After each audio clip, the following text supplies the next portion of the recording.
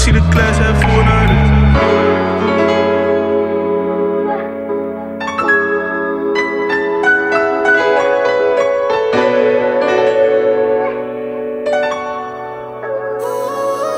If y'all see us moving different, don't ask no questions. Just know, God got us moving in a different direction. You heard?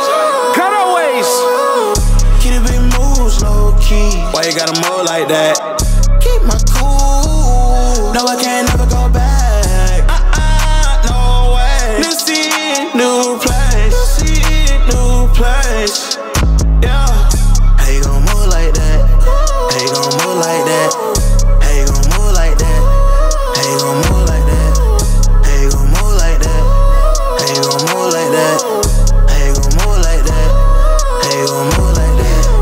Changed. I've been up to something. I ain't moving funny. I'm just walking different. Uh-huh. Move to the A, now I'm talking different. Movies to maybe don't block. And I talk that since 10th grade. I've been going pop on a pop bag bucket on you want, man. I've been looking forward more with most of goals. No one uh-huh. ever told them folks it's more than gold. No beef, I come from the side where it get hot and greasy. Talking like deep fried. Least we can do is make peace, not peace signs. Doing this till I resign home. Don't mess with my brothers, don't touch my siblings. Snakes all around, I can hear their siblings. Talking too crazy, bro. Good riddance. Smoke in the face me, I hold no bitterness. Yeah. Keep it big moves low key. Why you got a move like that?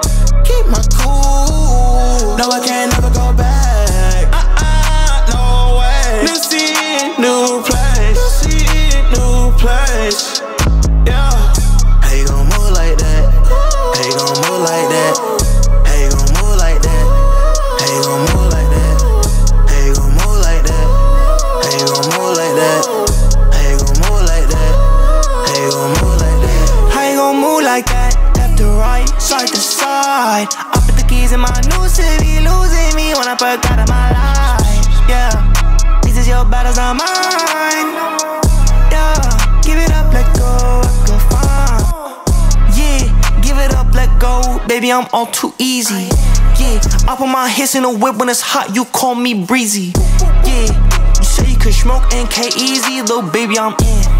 Let me know when you tryna take this out, try to pencil it in. Cause I'm busy, baby, I'm far too busy. And yo, shorty still call me Kizzy. Watch my moves, cause you tryna discover me. Watch this, baby, I'm new, that always history. Buddy, I'm Valjean, y'all live in misery. I'm on this boat, I flow, y'all depend on me. Y'all in the deep end, trying to make waves on me. Baby, it's scraps if you tryna put the pen on me. Kizzy, it's not. Keep it big moves low key. Why you gotta move like that? Keep my cool. No, I can't never go back. Uh-uh, no way. New scene, new place. New scene, new place.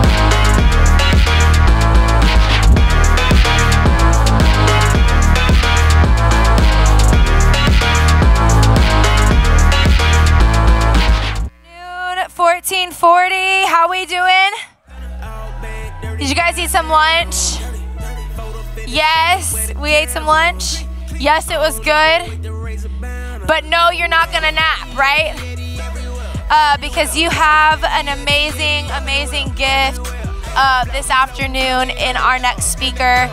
Um, many of you have had the opportunity to meet and to know Miss Ashley Veney.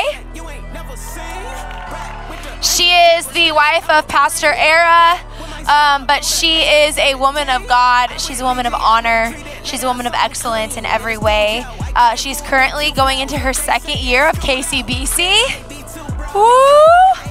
Uh, she has three children. Um, Ariana, who is right over here, and this is Miss Ashley's mom. Can you guys wave? But also, right in front, she's got Andrew. Yes.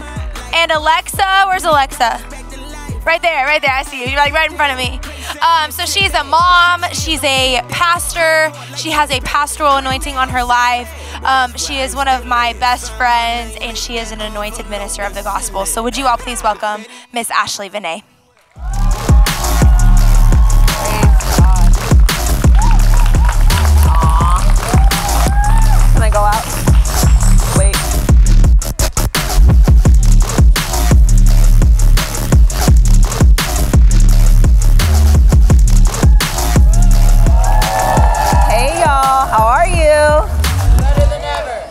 Welcome to today.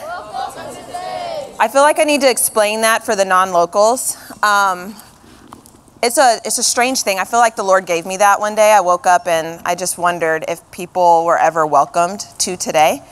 And then I started saying it and getting kind of weird looks. Like, what does that mean? I've been here all day. And now it's caught on. So I know where I've been because people say welcome to today. So I would encourage you, welcome somebody to today. Get excited about what the day is going to bring. Um, if you don't for you, do it for somebody else. Welcome them with a smile. Um, I, like Pastor Catherine said, I am a mom of three. I am a KCBC student entering my second year. You are all invited to my graduation. It is on May 3rd, 2025, at Eagle Mountain International Church. Um, I will look out for you um, since I sent you guys this invitation now. Um, but the Lord really um, blessed me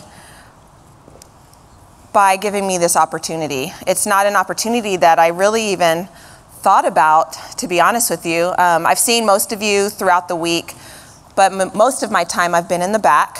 Um, I was doing crew meals and then helping with our guest speakers and um, in the back, and then I come out. But that was my primary. That was my primary focus or my um, assignment for Southwest, and I absolutely enjoy that. I enjoy serving others. I enjoy um, taking care of the men and women of God to come through that room, attending to whatever needs they have, leading them into this. And so to get this opportunity is uh, a major blessing, um, and I don't take it lightly. So I, Pastor Holden called me um, a few months ago and asked if I wanted the opportunity to speak. And I was speechless for a second because I was like, I'm just me. I'm just Ashley. Really? Y'all want me to come and speak? And then I said yes. And then I went into the antique store that I was about to go and shop at and found some cute frames. Um, and then I asked the Lord, What do you want me to speak on? And so I checked out what, what 1440 was being established, and I was reading the scripture, and I wasn't quite getting anything. So anytime I thought about it, I just prayed in tongues. Like y'all asked the question earlier, like how do you go deeper in Him? How do you go in Him? And it's, I prayed in tongues. I needed to know what He wanted this group of students to hear on this particular day after all the other speakers that we've had. And it wasn't until two weeks ago when I was flying to Nashville, I was on the plane and I just got everything. So I wrote it all down on my iPad of what I was supposed to do. But then this past Sunday, Pastor George was reading a portion of Pastor Terri's book, and it dropped into my spirit something specific and very, very specific. Um, I'll tell you a story. When I was 12 years old, I gave my life to the Lord and was baptized. So you think, oh, that's great. How I did it was my sister got saved the day before and she got baptized and she got a party. Like my grandma was all excited and all the family came over and my grandma told me when when you get saved, we're going to have a party for you. So the next day I got saved because I wanted a party. That was my motivation behind it. So my mom was there, my grandfather baptized me, and I think there was somebody else from the church who was there because they had to give all that the outfits or whatever. I got saved, went back, told my grandma, and I didn't get the party. And I, my first thought was, well, what was the point in that? Like, I thought I was going to get a party out of it. But I want to say it was probably about, this was fall of last year. I was taking one of my classes and I realized what happened when I was 12 and made that decision. Um, and I went and I told my professor what happened, and I was grateful for that particular class because I identified the goodness of God in my life at 12 years old last fall. He protected me. So, some of you who were here last year might know that I um, am adopted. It's my birth mom, but I have um, have adopted um, dad, and he adopted me when I was 17 years old. He adopted both me and my sister when we were 17, and when I was 12 is kind of when it all came out of how I found out, and I had a different name and all that stuff. I, to my core, and nobody could tell me otherwise, believe that the Lord kept me when I gave my life to the Lord the summer of me being 12 to then when I moved to Houston. Um, but right before turning 13, like a couple months before turning 13, spared me from a whole bunch of identity issues because we know the enemy comes and he comes in your mind and he comes in your thought life. And he comes to rob you of who you think you are, who you know you are to be, um, and who God says you are. So at that time, I didn't fully have an understanding of my identity in Christ. I didn't fully understand um, the depths of all of that. But what I did know was things were changing and I needed to adjust. But when I took this class in, in the fall and I realized the Lord took that confession when I was 12 years old and protected, He guarded my heart, He guarded my mind, and protected me. It spared me through a lot of things in my teenage years.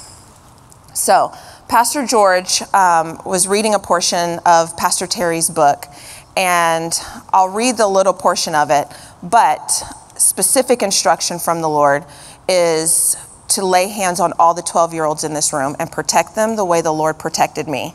So there's only a handful of you because I know the age is 13 to 18 in this room, but there are a few 12 year olds in this room. And I would ask that you exercise your faith and your boldness and come stand up here with me, please.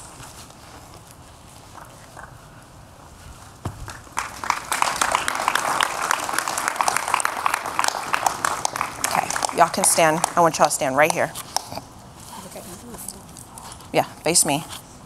So, Pastor George, this past Sunday, he read a portion of Pastor Terri's book, and this is when this dropped into me. Okay?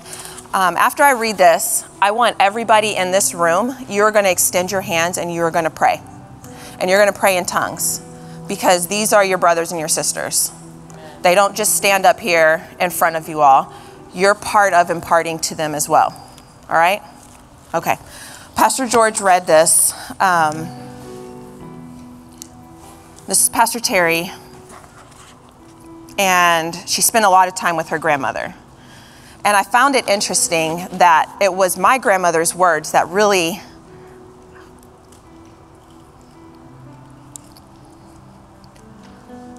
inspired me to get saved. I think a portion of, there was a portion of uh, reverence for the Lord that I had, but I also was, um, I was the student who was kind of afraid. I was afraid to go to hell.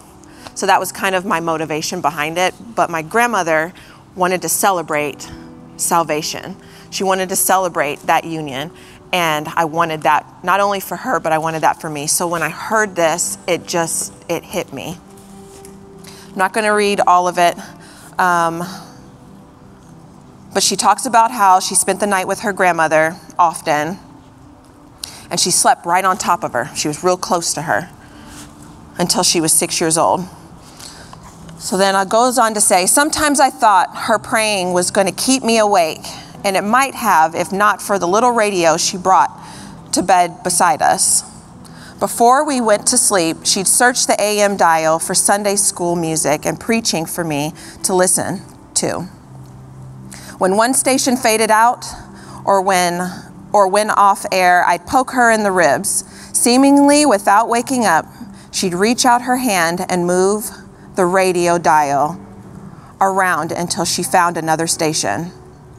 However long it took, she kept finding new stations until I went to sleep. She didn't, she didn't just do this a few times. She did this every time I stayed the night, determined to keep me close. She even booted my grandfather out of the bed at one point, complaining that I kicked like a mule in my sleep. He said, Vinita, it's either her or me. She picked me, and he ended up sleeping in the other room. Eventually, she decided I was old enough to keep I was old enough to sleep by myself, and my granddad got his side of the bed back. But until I was 12 years old, I slept as close as I could always. There is a certain point in your life, and Pastor Nancy talked about this last night the age of accountability, which will probably be different for each of you based on maturity. But there's a point in your life where it's your faith. There became a point in Pastor Terri's life where it wasn't about her grandmother. She could no longer sleep right on top of her. She could no longer sleep right next to her. At some point, she had to go to her room. She had to go to her bed, and it became hers. What is she going to do now that it's hers? And so when I read that, uh, when I heard Pastor George say that, I was like, that was a turning point age for me. That's when a lot happened mentally, but then there was a lot just changing. There's a lot of change that happened in my life at that time, just like there's a lot of change happening now. Some of you are going to middle school, coming up here from super kid to 1440. And so I just wanted to pray. Um, can you hand me my Bible? Psalm 91, just verse 1 and 2 over you. I'm literally just going to lay my hands on you, and I just want you to receive the protection of the Lord protection over your mind protection over your heart, protection over your spirit, protection in every decision you have to make. Middle school's not easy. High school's not easy. Sometimes life's not easy. But the Lord makes it easier. His burden is easy and his yoke is light. So lean into him. So, with every, um, I would like everybody to extend their hand towards them. I'd like you guys to just receive from the Lord. He who dwells in the secret place or the shelter of the Most High will abide in the shadow of the Almighty. I will say of the Lord, say, He is my refuge, and He is my fortress. Say, You are my God and I trust you. So, Father, I just thank you for each of these students that are right before me. I thank you that you saw them and you saw them on this day being protected for everything that they have to step through. I thank you for guarding their hearts, guarding their minds, protecting them, protecting their spirit. I thank you that for the influences that are around them that we silence the voice of the enemy and that they yield to your voice and your voice only. And I thank you for your precious Holy Spirit that dwells in each of them. In Jesus' name, amen. Okay, y'all can go sit down. Okay, so after that, the Lord showed me another time in my life where I had to make major decisions. And I was 18. And that's a big jump. You graduate high school and now you are an adult, is what the world says. Your parents might say otherwise, especially if you're still living at home. But that attitude of, I'm an adult, I can do this on my own. I'm an adult, I can figure it out. Nope, we're not doing that either. So I want every 18 year old that's in the room to come up here.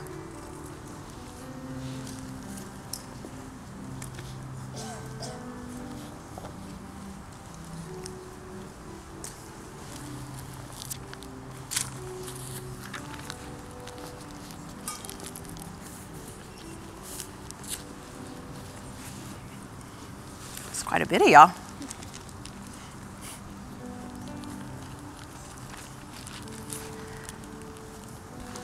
This is a beautiful season that you have. You've had the opportunity, some of you, to be in 1440, Southwest, Spring Retreat, EMIC, connected with each other, social media, youth group. You had the opportunity to hear the Lord with the protection of your parents, the covering of your parents, the covering of your pastors, and you still have that. But now you're at a point in your life where you have to start making decisions. When you go to college, are you going to eat dinner? Are you just going to eat breakfast? Are you going to do like I did and have cappuccinos and, and hot Cheetos every morning? Yeah, that's gross, y'all. I don't know why I did it, but I did every morning. I'd stop at the gas station and do that. Why? Because I could.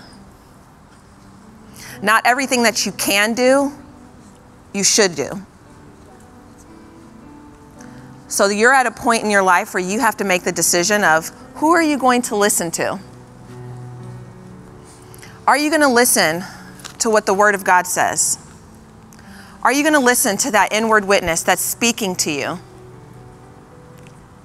You've been through enough situations where you know when you're stepping into something and it just doesn't feel right.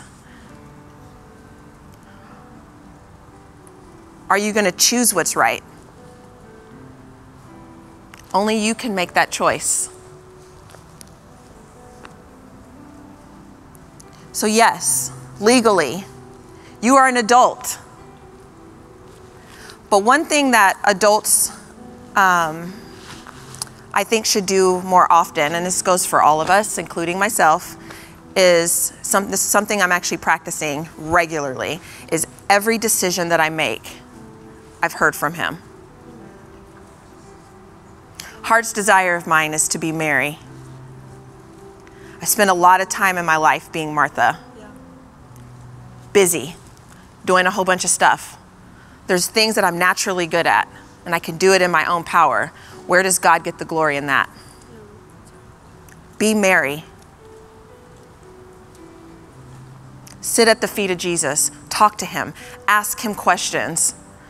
Ask him, What kind of adult do you want me to be? Am I majoring in what I'm supposed to be majoring in? Am I working where I'm supposed to be working? Is the person that I'm dating or the person who likes me, is this who I'm supposed to even be entertaining any of my time with?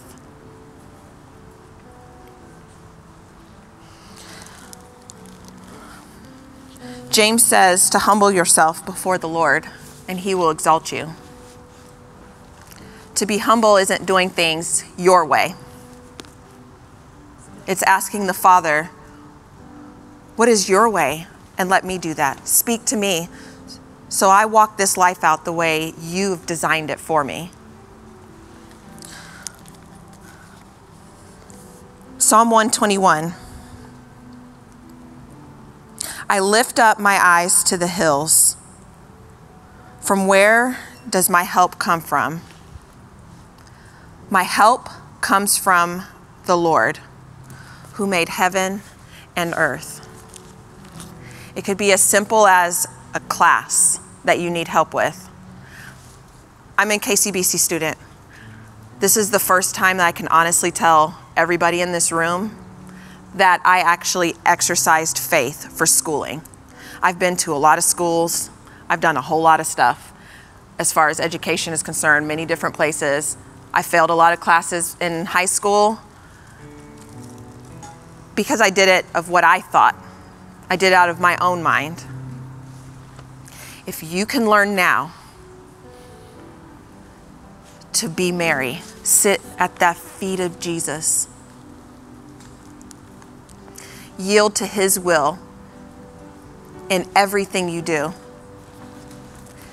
One, it makes life a lot easier and it's fun. It's fun to be in the will of God. You walk around with peace. You have a confidence that other people don't have. There's something different about you. That's Him. So I'm going to lay my hands on each of you.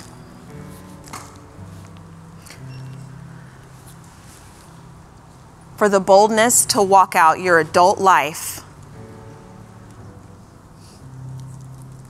solely for the Lord. Protecting your heart, protecting your mind from all unrighteous thinking. So, Father, I just thank you right now. I thank you for your presence that lives and dwells in each of these students. I thank you that as they enter and just stepped into adulthood, that they yield to your will. They yield to your way. They hear your voice. They hear your voice and your voice only. I thank you for your presence that lives and dwells in each of them. Your presence that helps them know what decisions to make. Your presence that helps them know which where to go. Father, I thank you for the peace. Your peace that surpasses all understanding. They don't have to figure it out themselves. They don't have to figure out how to do something because you already have the answer. I thank you for seeing them. That this moment is very important to you. That they know you have their back. I thank you, Father, for the purposes that are in each one of them, that they walk out your plan for them individually with boldness. They don't steer to another path. They don't go a different direction. They stay on the path that you have designed for them. And Father, I just thank you for sending them community. Community of like minded believers that they can establish their faith stronger in you as they enter this new season. Father, I thank you for the blood of Jesus that cleanses every student in this room from all unrighteous thinking.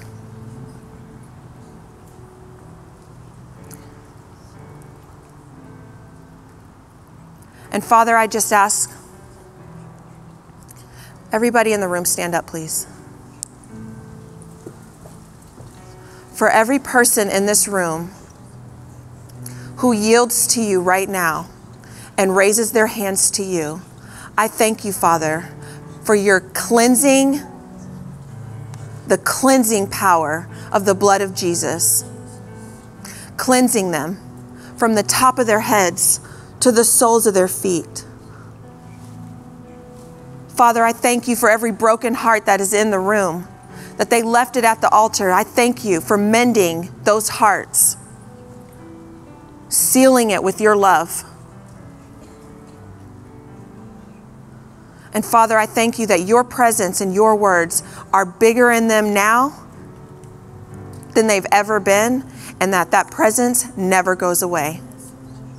I thank you that you quicken each person who is standing up in this room, raising their hands to you, Father. You quicken them with the deeper revelation of your love, a deeper revelation of knowing that the blood works in their life. And I thank you for that, Father. That there is freedom in you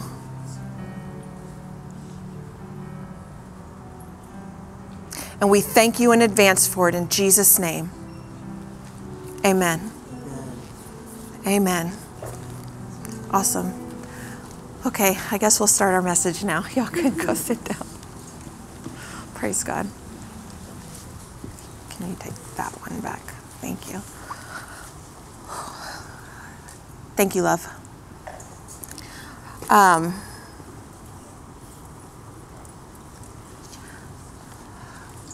the Lord is good. He's so good. Thank you so much, Casey. It's funny, I always saw this in a certain room, um, but I had never actually seen it used until Southwest, so it's kind of fun to be able to use this, whose whoever this is. um, so, welcome to today again. It's like it felt, the presence of God is so good. Y'all ask the question like how do you how can you stay in this place? How can you live in this place? It's like that's how you do you acknowledge him um, mr tony who was up here the other day when he said all the music to shut all the music off and for you all to worship and for you to dance. But what did he have you guys do first? What was the first thing y'all did other than spread out? Maybe okay the second one. You prayed in tongues. That is the power that you guys have in you every single day. You don't just use it at home. I mean, you don't just use it at church. You can use that at home. Driving in your car. I was talking to, I think, Megan. I was giving her the scriptures or sending her some pictures or whatever. And I was trying to talk, but it was like, it was just tongues that was coming out. And it was just kind of funny to me because I recognized it um, in that moment. It was just kind of funny. But I wanted to. Um, talk to you all today about being established in Him. The scripture talks about being established in Him, and I, let's just go to Colossians. Our foundation scripture, Colossians chapter 2, verses 6 through 7, says, Therefore, as you receive Christ, the Lord, so walk in Him rooted and built up in him and established in faith, in the faith, just as you were taught, abounding in thanksgiving. So, on Monday, Dean Sikes was here and he had everybody raise their hand um, for those who wanted salvation. And I came out to look because I wanted to see. I thought it was pretty remarkable that majority of this room was has already made that decision um, of salvation, and there was just a handful. So now you've made the decision. Can you put that picture of when I was 12 up? I have the button, the button down shirt. Um, there's a picture. Y'all, look how cute I was. I looked at that picture and I was like, oh my gosh, no. But I look at this picture and that's 12 year old me. What is the purpose of me showing you this? I was a kid once, y'all. I wasn't always an adult. This was me living my best life with my little dress posed. I love picture day.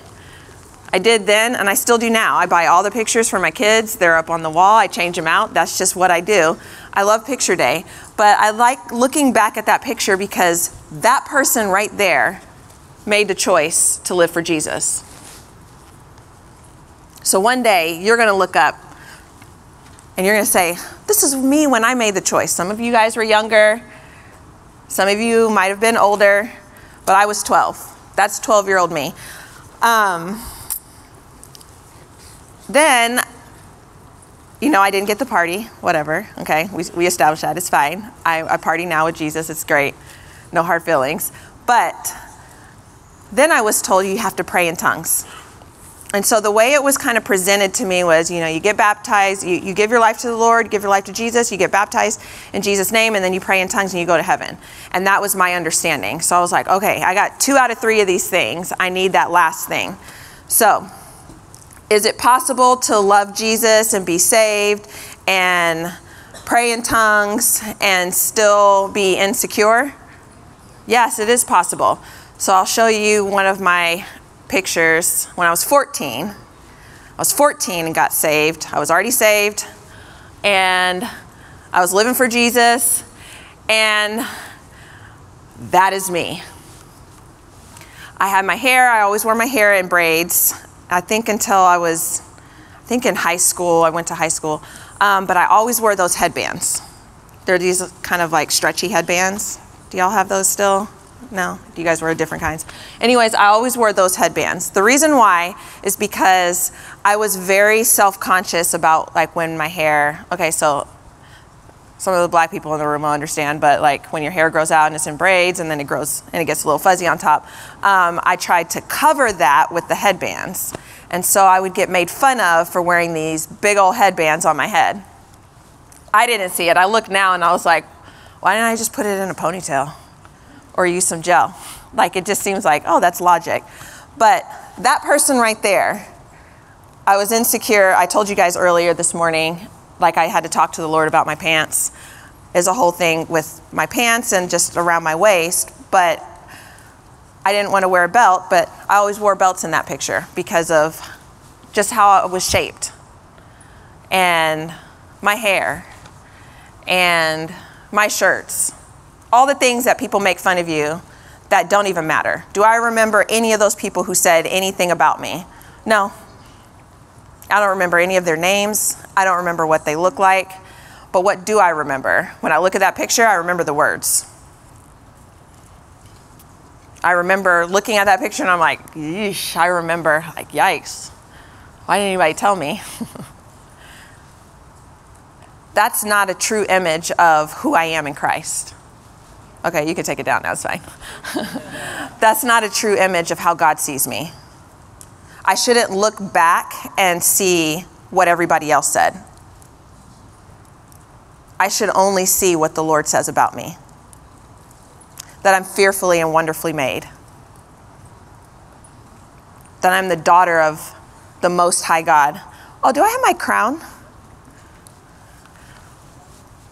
Yeah, so I wear this tiara sometimes. One day, Pastor Eric came home and I was wearing this tiara. I was working on my New Testament survey and I was just sitting at my computer and I was just typing. And he came in and he was like, This is what we're doing. And I was like, Hello, Lady Ashley. I really officially am a lady, just so you guys know. Like in, in Europe, I am. I'm Lady Ashley of Hogan or something like that. Um, but I wear this sometimes to remind myself. I have it on one of my shelf that I am a daughter of the Most High. Nobody can take that away from me. None of y'all can say anything to take that away from me. Even if you tried, you can't take that away from me. There might have been a point in my life that you could have, but now I know who I am. I'm established and rooted in Him. And when you know that, and you know that to your core, nobody can take that away from you.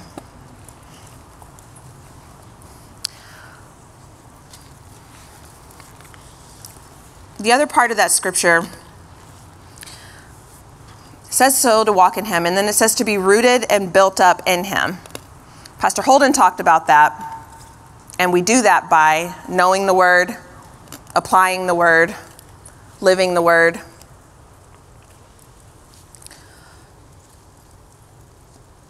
We talked about, um, Cameron mentioned being abiding in him. We talked about that a little bit earlier today um, with one of y'all's questions about abiding in him, and that just means hanging out with him. Like, how many of y'all have friends and you're like, oh yeah, I want to go hang out with my friends? Okay, so like half of you, so the rest of you don't hang out with anybody? Ever? Like, nobody hangs out with anybody at any time ever? Um, we all have people that we like to hang out with. But how many of you look forward to, like, I get to hang out with God today? I do. Like, I'm excited to learn something new. One of y'all's questions was um, was about studying the Bible versus just like reading the Bible. And it's like, yeah, you can read words all day long. But one thing that I did one time was I wanted to know about a specific topic. And so then I look up all the scriptures on that topic. And then if you have a Bible, this Bible's not one, but then they have references that go down the center and then they'll take you to other places, or you can use your technology, whatever you want to use. And it'll take you out of the scriptures. And the next thing you know, you look up and it's just been hours of time spent learning about that one topic. Oh, yeah, I'll take this off. I still know who I am. I'm going to leave it right here.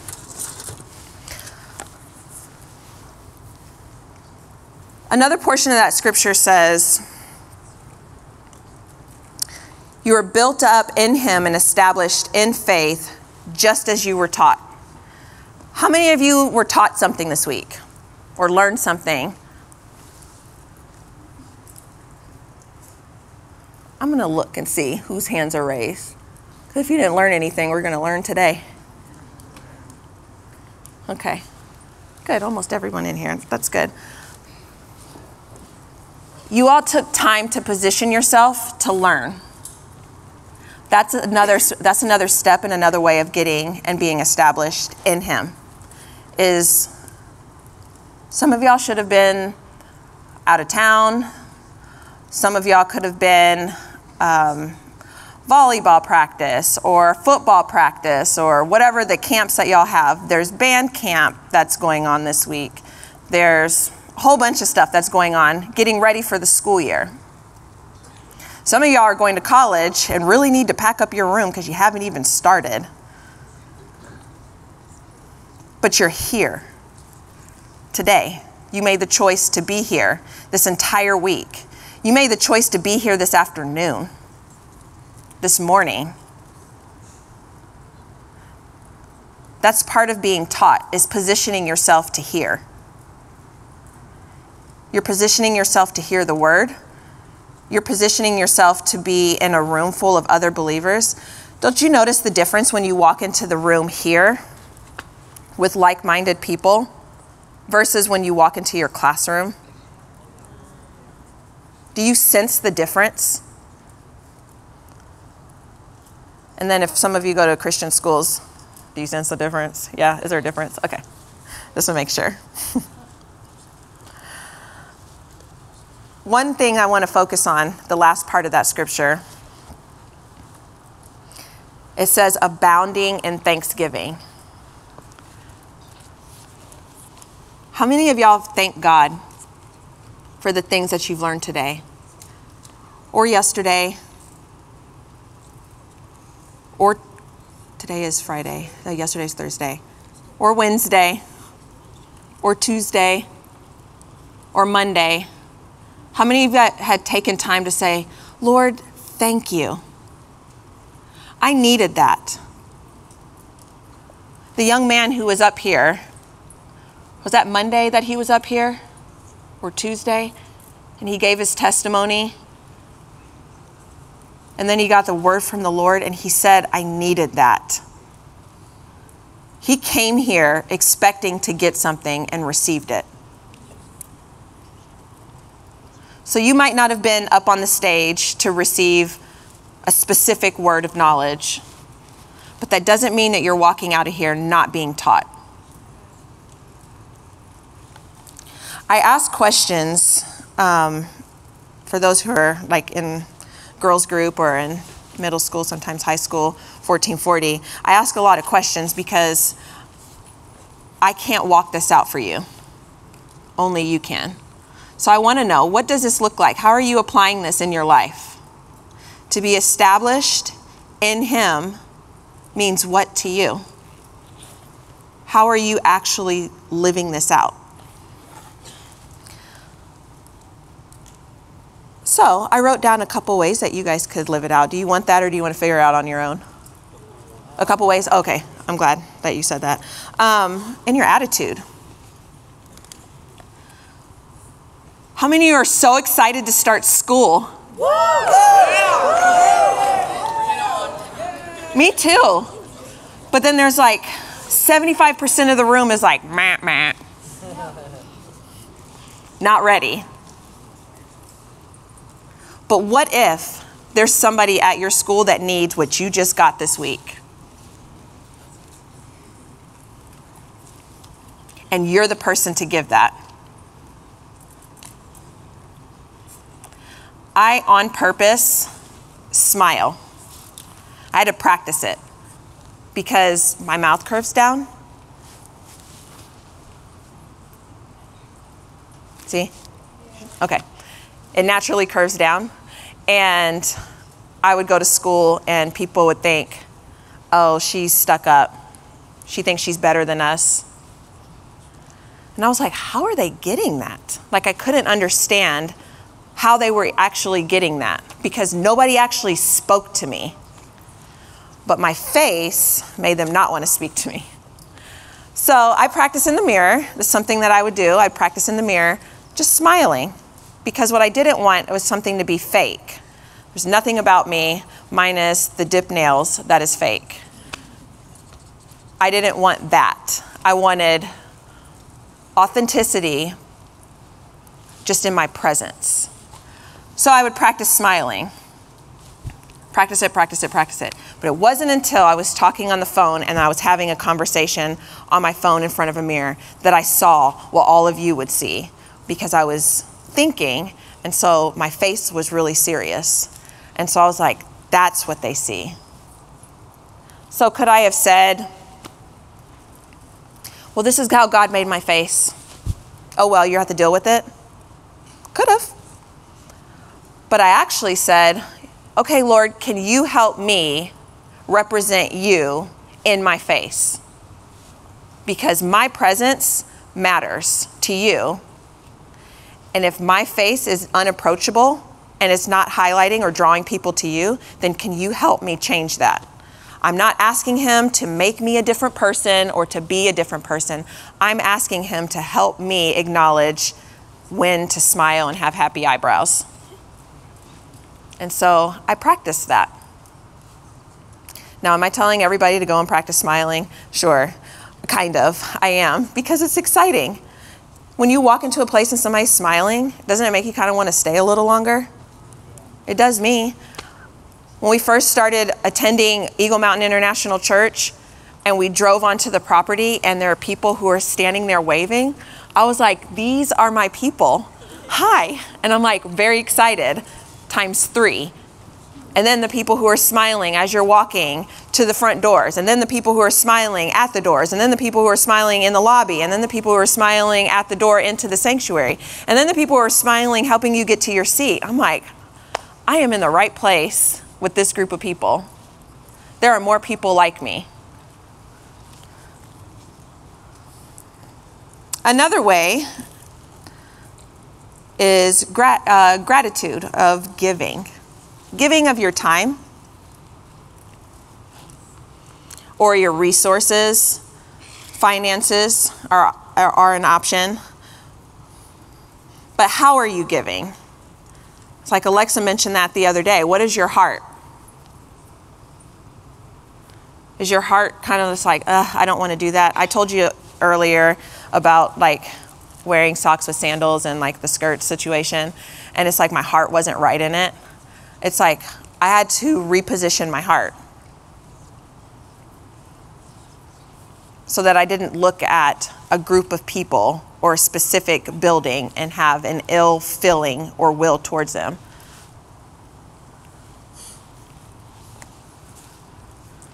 So, to be able to give something to the Lord, I had to then recognize what needed to leave that wasn't of Him. Another way is how do you treat others?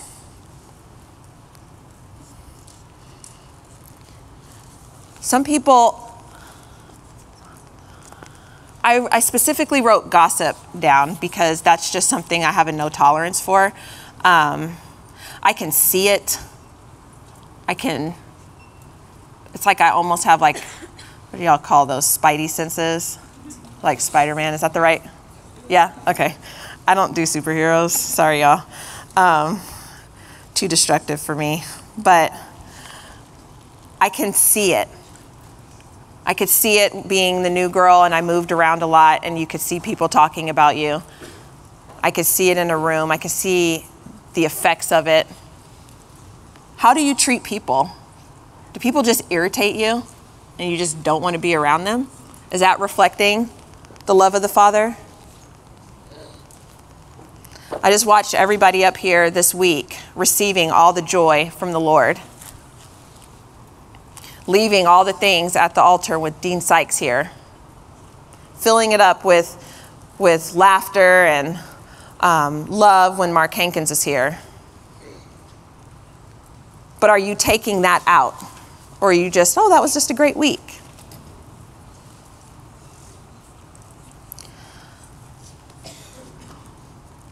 One area I really want to focus on is spending time with Him.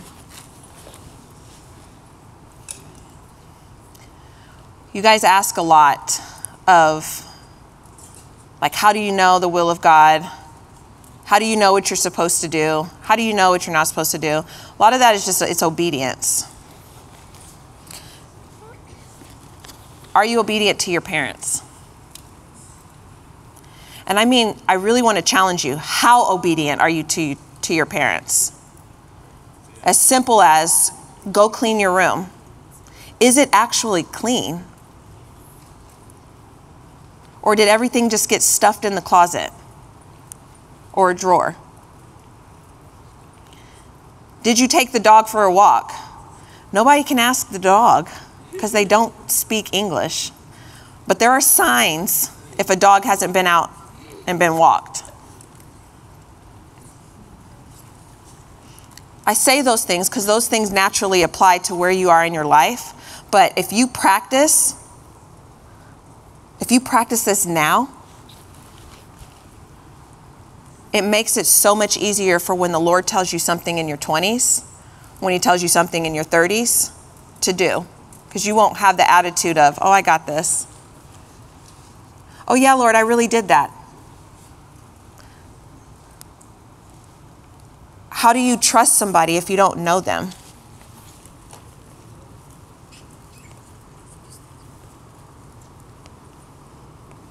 I trust the Lord. I was um, 21 when I moved to California on my own. It was my first move that I did without my parents.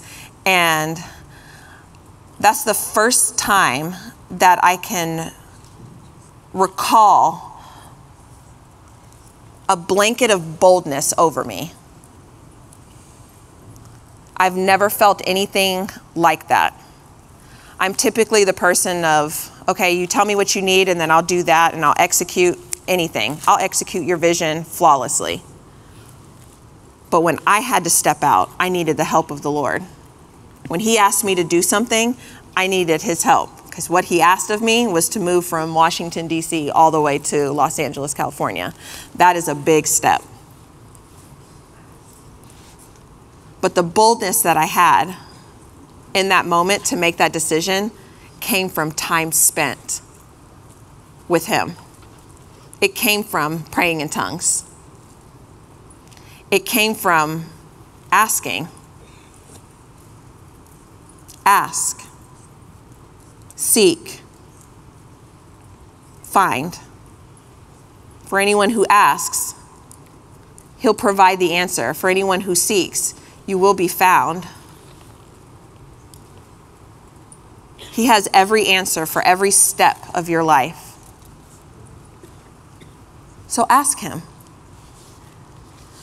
One thing I've observed, um, more so this last year, I've really paid attention, is how much, and I mean this in the most respectful way, respectfully, however you want to say it, is y'all don't talk. There's not a lot of talking with this generation. Um, and so I was trying to figure out why, just kind of observing. And I noticed, like, with social media, like, we didn't have social media when I was growing up. Um, it didn't happen. Like, I'm OG when Facebook first came out. Like, you had to be a college student. So I was like one of the first thousands, I suppose, of college students who had Facebook. Um, but even then, it wasn't what it is now, where you're constantly seeing all this stuff and taking in all this information and taking in all these images and taking in all these words, but then nothing is actually coming out of your mouth. So then the Bible says, out of the abundance of your uh, abundance of your heart, your mouth speaks. So that means everything you've taken in at some point is going to come out. So what are you taking in? That goes back to answering your question earlier. How are you supposed to walk out everything that just happened this week? What are you putting in you? So in the school year, I told you guys earlier, I wake up um, and watch Nancy Dufresne at 6:30 in the morning. She's on the Victory Network, and it's the perfect time to do my hair and my makeup. My outfit's already picked out, all the other things are taken care of. But then I can sit down, I have my iPad, turn her on, and then I put my makeup and do my hair. And that's how I choose, that's what I choose to listen. And that's separate from saying, Good morning, Lord. Thank you for waking me up. Thank you for my home. Thank you for my children. Thank you for the food that we have. Thank you for my coffee. Amen. I look forward to my morning coffee the smell, the taste, the mug. I look forward to it, but I thank the Lord for that. Constantly filling yourself up with His Word, constantly filling yourself up with His thoughts and His ways, so that every choice I make for the rest of that day has Him at the start of it.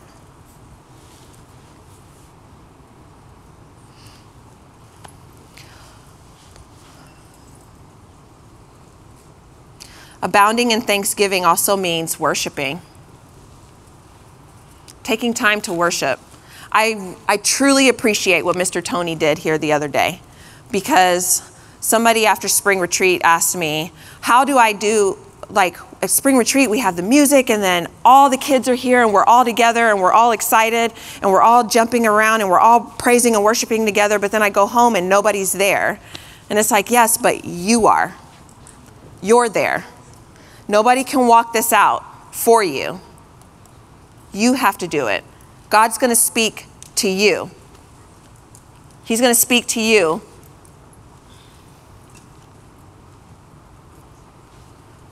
So when Mr. Tony said, We're going to worship without music, if y'all are the ones who don't have a phone or, I mean, I don't even think people have radios anymore. Does anybody in the room have a radio? What?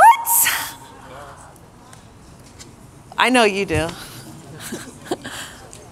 Does it have a tape player in it? Raise your hand if yours has a tape player in it.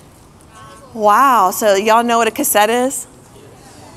Wow, that is that makes me so happy on the inside. So maybe some of y'all do listen to the radio. But finding ways to worship without music. Simply just thanking God. You can worship Him in your actions. You can worship Him in your words. You can worship Him in your outfits. You can worship Him um, just simply by, thank you, Lord, for coffee. I thank the Lord for coffee just because it's a time that I have with Him. When I drink my first cup of coffee in the morning, I, it's like I have these times of just connection with the Lord. Not only am I genuinely grateful for the mug that I have, but I'm grateful for the home that I have the ability to wake up, the ability to have a home, to have a coffee maker, to have a hallway. Like we've been downtown this week. I'm sure some of y'all have seen people who don't have a home on the street this week. So, something so simple of thanking the Lord for your home. I get it. Some of y'all share a bedroom with your sibling and you might not want to do that. But you know what? You have a bed. Can you make different choices for your kids later? Potentially, maybe. That's on you. And that's on you yielding.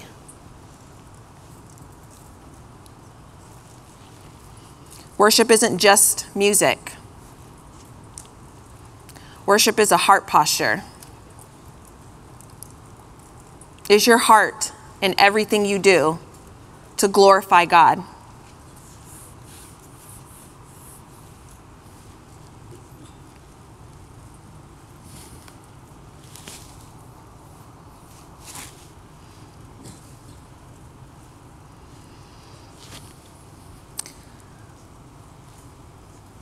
That portion of the scripture, it says, So walk in him. And I think it's so easy just to skip over that. Like you just read it, it's a comma, so walk in him, comma, and you're on to verse 7 being rooted. But to walk in, what does it mean to be in something?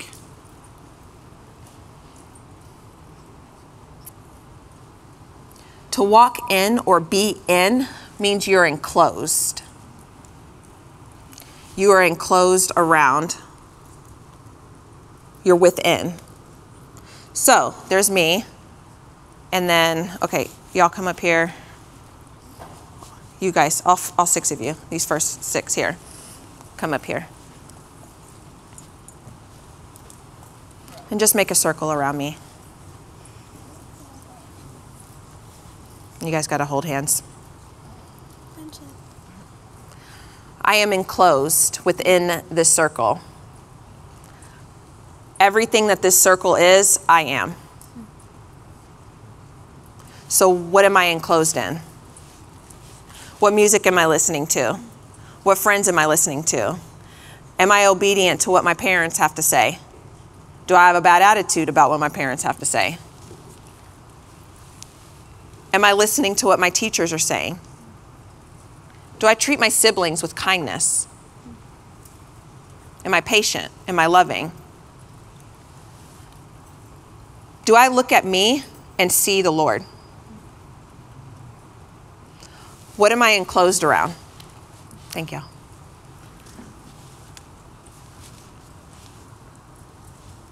So, for those of you who are taking notes, I really want you to ask yourself that question What am I surrounded by? What am I in? Have I surrounded myself with the things of the Lord?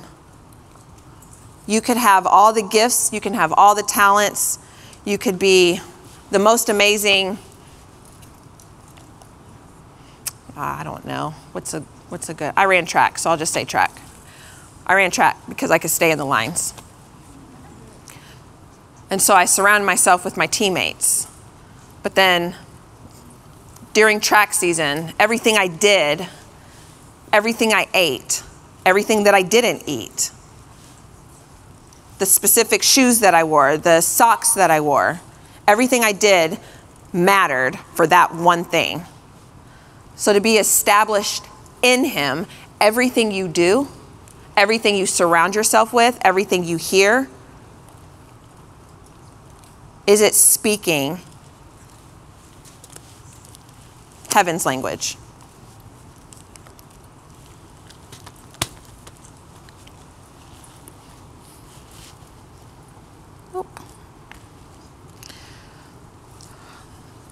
This time goes by so fast. Romans 12, 2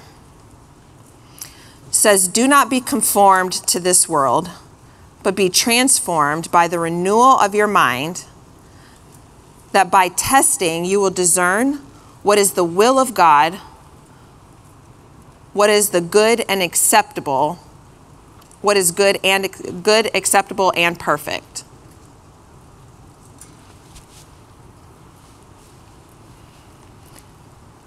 Being conformed to this world doesn't mean avoiding or pretending like you don't see it.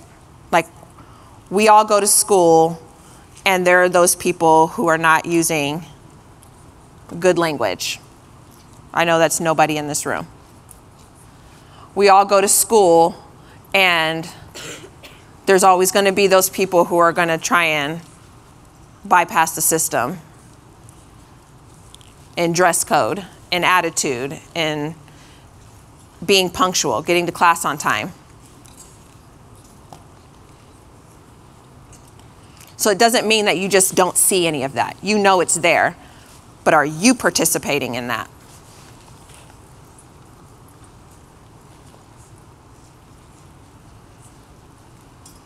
So being conformed to something doesn't mean that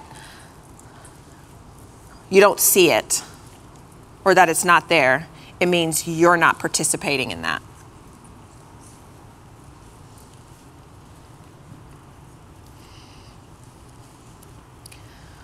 We are called to look different. We are called to sound different. I even put on here, we're called to smell different. And the reason that I put that on there is because Pastor Terri mentioned on Sunday that she walked into her um, office and like her foyer area, and there was an aroma that was in the area. And It, it moved her because she felt like the Lord did that for her. And that blessed me because it's like time spent with the Lord, it heightens all of your senses. Even to the point of a smelling of an aroma can bring you such joy and connection to the Lord. So, yeah, that's why I put that. You can put that one down and you can reference that on for yourself. But our senses were heightened, and I saw it when y'all worshiped without the music. I saw those who got filled with the Holy Spirit for the first time. I saw those who went a little bit deeper in their time of praying. You prayed harder than I've ever seen, or those who started dancing a little different than what they normally would have.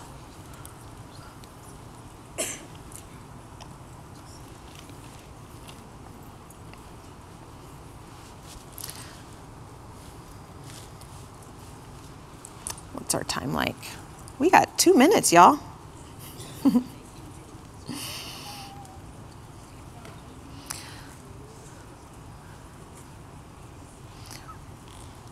when I was praying over the 18 year olds, um,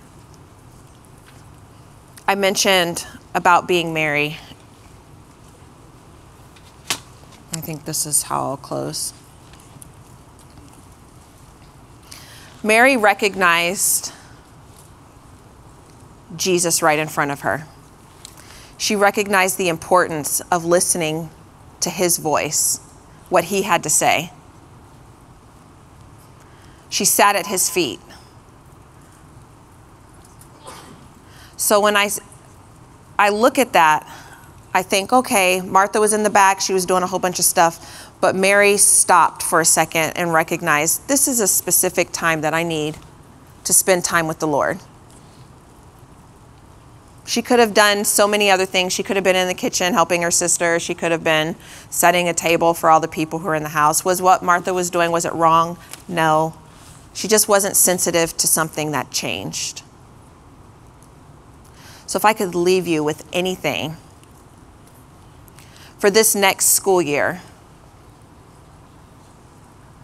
be sensitive. You all have the Holy Spirit inside of you. Be sensitive to His yielding be sensitive, I mean, be sensitive to his, his leading, yield to him. When you get that feeling in your stomach, something doesn't feel right, stop. Don't feel rushed to make a decision. I talked to someone the other day who was like, Well, I, I had to do this. And it's like, No, you didn't. You didn't have to. You could have stopped and waited for an answer. So just stop stop and wait on the Lord. We're entering a new school year, it's an election year. I know that makes school real fun. You don't have to fall into the pressure of the chaos that happens. It's a choice. So, in everything you do, ask the Lord everything friends, practice with your outfits, practice with what backpack to get, what phone case. Those little things that you think aren't that big of a deal, they matter to God. Did y'all get something out of this? The time went by so fast. Thank y'all for this opportunity. Love you very much. All right. Good job, love. That's my wife. Good job. Cool, cool. All right. Um, next up, uh, we're gonna actually stand up. Stand up. Just preacher said, shake something, stretch something, reach up to the sky.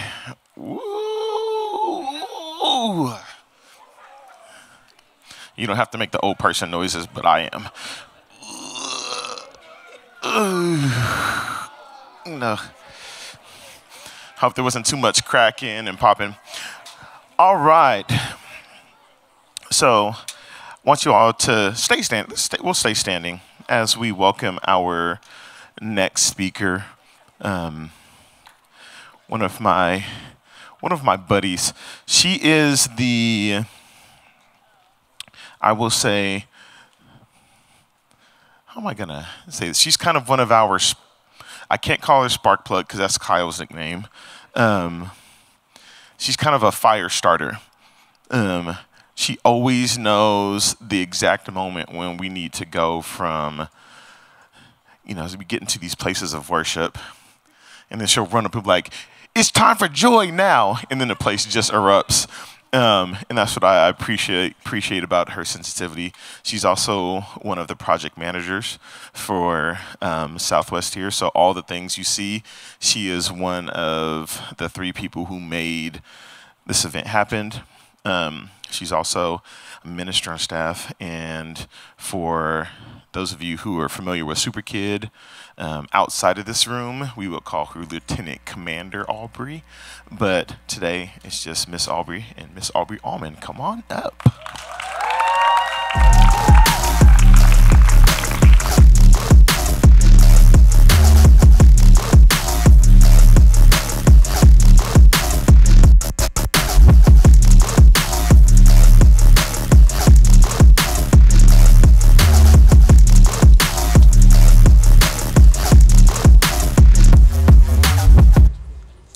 How's it going, 14forty? Praise the Lord. First of all, I just want to say thank you to you guys. Thank you for being here. Thank you for paying attention. Thank you for being hungry for the word, hungry for the Lord. All of you know that you have wristbands on your wrist and you can scan yourself out when you decide to do that.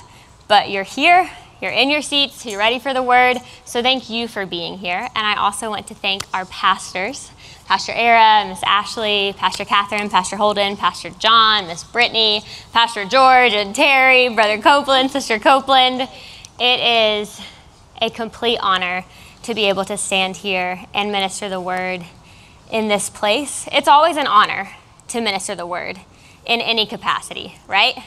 Even when it's in your hallway at school, it's an honor to be able to speak the name of Jesus and share this book with somebody else but it's a it's a different it's there there's different levels of things that the Lord allows you to do.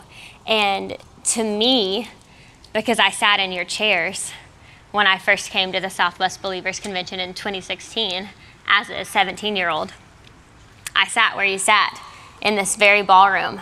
I've had encounters with the Lord marking life changing moments right here where the Lord completely flipped my life around. So to now be able to stand before you and impart and share, hopefully in a way that, that somebody else did to me all of those years ago, that is an honor. So I am so grateful for this opportunity. And I'm so thankful for the foundation that Miss Ashley just laid because I was sitting there listening, and so many things that she was talking to you all about were things that the Lord had put on my heart as well. So if you're ready, have a seat. And we're just going to keep going, honestly. We're in Colossians 2, right? All week. Praise the Lord. So if you're there, stay there. If you're not there, turn there. Colossians 2, verses 6 and 7. And we are going to start, uh, start talking about establishing your habits. As you're turning, I also want to say thank you and acknowledge my parents are in the room my mom, my dad, my sister is in the room. And also, I want to share a lot of you may know by now or may not have known, I just got married July 6th. Praise the Lord. God is so good. That's a whole other testimony. Um, God is good. And my husband is at work right now. So his name is Jordan. He's very tall and he's amazing. And he is 100% the man that the Lord had for me. And I am so blessed. And I'm wearing my wedding Converse today because I knew that he couldn't be here. So it's like, I mean, I've got the ring, yes, but the Converse were just another touch. I was like, oh, my husband is supporting me because he is. So, Are you there in Colossians 2? Yes. Okay, Colossians 2. Therefore, as you received Christ Jesus the Lord, so walk in him, rooted and built up in him, and established in the faith, just as you were taught, abounding in thanksgiving. What I love that Miss Ashley pulled out of these verses, she pulled out your part, the, the practical side of it. And one thing that I was super excited about to get to be towards the end of the week, it's Friday. Today's our last, like, full day in the sense that we had, you know, the morning, afternoon, and the evening. Tomorrow's another full day. We have healing school in the morning, we have the evening session. So, getting towards the end of the week, you start getting those questions asked, and you start thinking, well, what about when I go back home? And you start kind of kind of getting pulled out of the bubble, right? Like you came into this word bubble. The arena actually is like an arena. It looks like a bubble, right? It's round. So you're in this word bubble, and it's easy to just forget about life and forget about home and your state and everything else. But when you get to Friday, it starts coming back up, and you start realizing, I'm about to step back into whatever that was, right? So, our theme is established, and we're talking about how you need to be established in what? What are some of the things we've talked about this week? What do you need to be established in? Faith. The Word, God, love, peace. You need to be joy. You need to be established. You need to be rooted. But now that it's Friday and you're about to go home, I want to talk about what you need to establish. So now that you are established, what do you need to establish? I'll clarify. It's really easy to get established in the Word of God. God makes it easy to get established in the Word of God. It's so easy that a five year old can receive Jesus. It's so easy that a three year old could receive Jesus. I've seen it. I work with super kids, I work with preschoolers, I see their hearts. It's easy for them to receive Jesus. Miss Taylor talked about earlier this week the draw of the Holy Spirit. He draws us, He helps us, He makes it easy. What's not as easy is establishing the word in your life. You can become established in the word like that. And you can say, right now in this moment, I make a quality decision. This is true. This word is true. It's that easy to become established in the Word of God. It takes more time to establish the Word in your life. We're going to break it down some more, but I want you to just hang on, follow along. We'll get there. Can I get my first picture on the screen, please? It's a tree. It's a tree. Does anybody know what kind of a tree this is? Somebody said a fig tree. No. Willow, no. Avocado, no. Almond? I wish I would have done an almond tree. That would have been so punny. Missed opportunity. It's not a lemon tree. It's not an olive tree. It's not an apple tree. I heard somebody say it. It's an orange tree. It's an orange tree. Can I get the next picture up there, please? Should I have started with that one? it, it is so pretty. It is so pretty. This tree is beautiful. I have never even seen an orange tree like that in my life. I don't even know if I've seen an orange tree, period. But it's a lot easier to know what kind of a tree that is when there's what on it? Fruit. Oranges, yes. That first picture, y'all were guessing all sorts of things. Things that I didn't even think about, right? The first fruit that came to my mind this morning was oranges when the Lord gave me this idea. You knew that it was an orange tree because of the fruit, because there are physical oranges on this tree. Are both trees established? Yeah. They're both planted in dirt, they're both rooted in soil, they're both grounded. They are both two very established trees. One of them has no fruit, the other has a lot of fruit. What's the difference? Do you think there is a difference? They're both orange trees. But one tree is an orange tree, and nobody knows that it's an orange tree. But everybody knows that the second tree is an orange tree. You are known by your fruit. You are all in this room right now together. So I'm just going to say that you are all established in the Word. All of you just sat and listened to what Miss Ashley said. So you are all established in what she just ministered to you. But when you leave this room, every one of you has a choice. If you are going to establish that in your life, what fruit are you going to establish after you have become established? You following me? Another example exercise plans. How many of you have heard of an exercise plan? Or you've done an exercise plan? Or you've done workout routines for your sports? Whatever that is. They exist, right? They are an established thing. I can believe all day. Yeah, workouts workouts are great. Exercise is great. I am established in the fact that they exist. I'm established in the fact that they work. I see people running, and I can't run that fast for lots of reasons. But one of the reasons is I don't run, I don't practice. I tried to be a runner in 2020. I was at home. It's like, I'm just gonna, I'm gonna go run two miles. I did. I got up to two miles. Now, if you saw me, there's no way you would say I was running. You'd be like, she's barely jogging. I tried it. It works. There are changes that happen, there are benefits to it, right? I'm not a runner.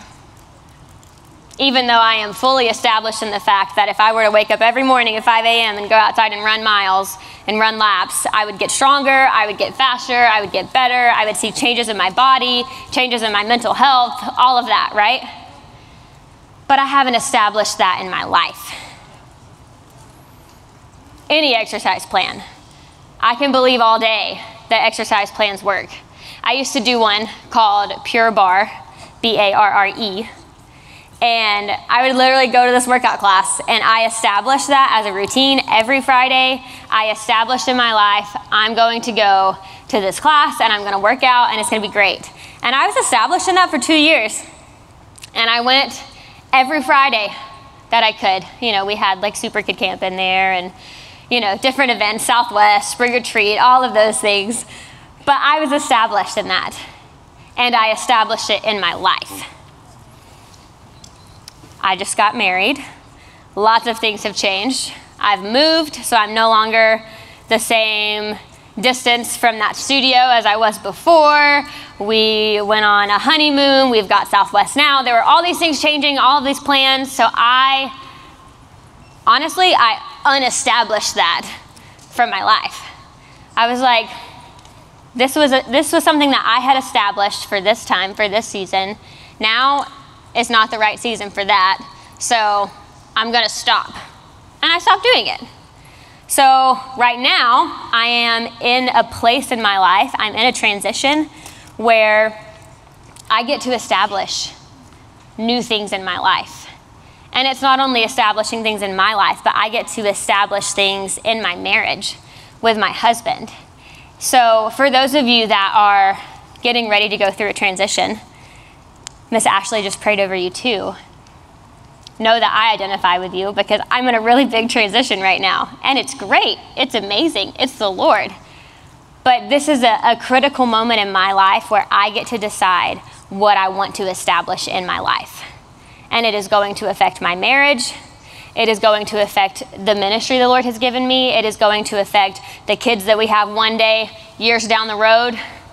It affects all of that, the things that I establish today in my life. So, my goal is I'm going to establish a new workout routine, right? Like, these are things that I want to do, but I can be established in it all day long. That workout is that workouts are good, the exercise is good, but if I don't actually do it, if I don't actually establish that in my own life, what's it gonna do? Nothing. I'm gonna be like that first tree up there with no fruit on it. Established in the dirt, believing that exercise is good, but I'm showing no fruit. Another example when Jordan proposed to me, we were established in the fact that we were getting married. We were rooted in that. We knew it was what the Lord said. The Lord spoke to both of us. We were established in the fact that we were going to get married. But we did not get married until July the 6th. So, from the time we got engaged until July the 6th, our marriage was not established. And that greatly changed the way that we operated because of something that had not yet been established in our lives. Does that make sense? We knew we were getting married, we were established in that fact, but our actual marriage was not established until July the 6th. Up until July the 6th at 2:30 p.m., I was still Aubrey Marbut. I knew I was going to become Aubrey Almond. That was established. I knew that I knew. But it did not become established in my life until I actually stood with Jordan, Pastor George, our family around us before the Lord, and I said my vows, and he proclaimed us as husband and wife, and then it became established. There was something I had to do to see that come to pass. So you can be established in the Word all day long. You can meet people on the street and they'll tell you, Yeah, I believe God's real. Yeah, I believe in Jesus. Yeah, I received Jesus when I was five. But they look like that first tree up there because you see them and you're like, You don't look like a Christian. Can we be real? Your fruit matters. Your fruit matters. I want to go to Matthew chapter 7.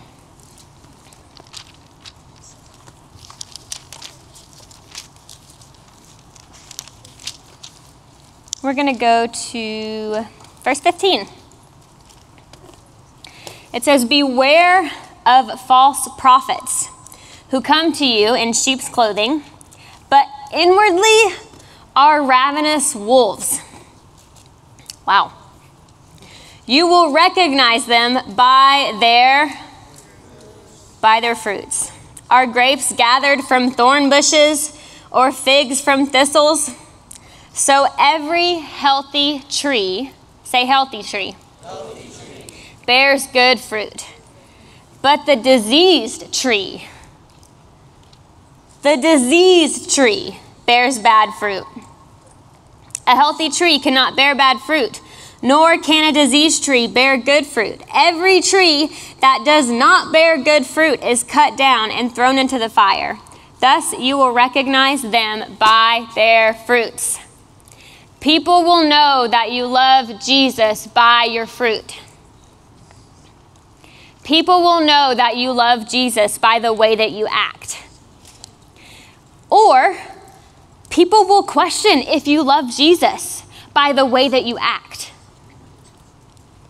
They're going to see you and they're either going to know something is different about you or they're going to know that you're a liar.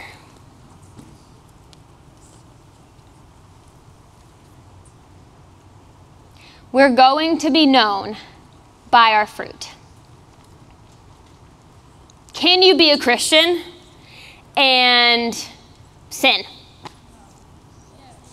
Yeah, we have choices every day.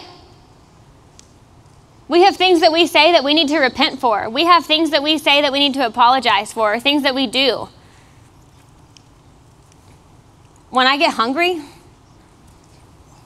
sometimes I say things I should not say. And sometimes I can be a little mean. And that is not an excuse. It is not to say, I was just really hungry. Being hungry is not a reason to sin, okay? Being hungry is not a reason to be mean. What it means is that I know myself enough to know that one, I just really shouldn't let myself get hungry. But two, if I know that I'm hungry, I am going to watch my words. I am going to watch my face. I might even step away from some people if I know that I have missed my lunch and I just need to take a minute. I need to start praying in tongues because it's real. Is that real for any of y'all? Or maybe it's just been a day. Maybe you were stuck in traffic. Maybe you got a bad grade on a test. Whatever that thing is, we all have a response to that, right? You are in control of how you act. I say this to the super kids all the time. I'm like, we can make good choices or we can make bad choices. And that is true no matter what age you are. You can be a Christian and still make bad choices. God is not, who was it? Was it Pastor Nancy last night? She said that the Lord, the Lord is not the one controlling you. The devil is the one who will, who will control people. The Lord does not control you. So, we have these. Is it possible to get both trees up there together on the screen? I didn't ask them that before, so if not, it's okay because you guys have seen the trees, so you know what I'm talking about, right? Both of these trees are rooted in dirt, grounded in soil. They're trees. They're both orange trees. They have the same identity. Their identity is the same, but they look completely different. If all of you know Jesus, if all of you have received Jesus, every single one of you has the same identity as a child of God. You are his son, you are his daughter. You are a child of God. You are a Christian. I don't know all of you outside of this room, so I don't know what kind of choices that you make, but I know that you have the choice. You can choose to live a life where everyone sees your fruit and knows that person loves the Lord. Or you can choose to live a life where everyone sees your fruit and they say, that person does not know the Lord. The pictures of these trees, one has fruit, one doesn't have fruit. But the truth is, every one of our lives produces fruit. But the word says that it's just good fruit or bad fruit. You're either a healthy tree or you're a diseased tree going back to the, the actual trees, I was looking up. Um, it was hard to find a picture of an orange tree with no oranges on it. I was having to get really specific when I was searching it. And I found this like gardening website. Thank you so much. I found this gardening website and it said, here are some reasons why orange trees don't produce fruit. The tree is not old enough to produce fruit. It's a valid reason. The tree doesn't receive enough sunlight. The flowers aren't being pollinated. Cold temperatures are killing the flower buds, or there is improper watering, fertilizing, or pruning. So if you see a tree and you know it's an orange tree and there's no oranges on that tree, there's something wrong. There's a reason why there are no oranges on that tree. It's the same way in our lives. If we know that we're a Christian, we know that we love Jesus, but there's no fruit that has been established in our lives, there is something wrong. We know it's not the first one. The first one said the tree is not old enough to produce fruit.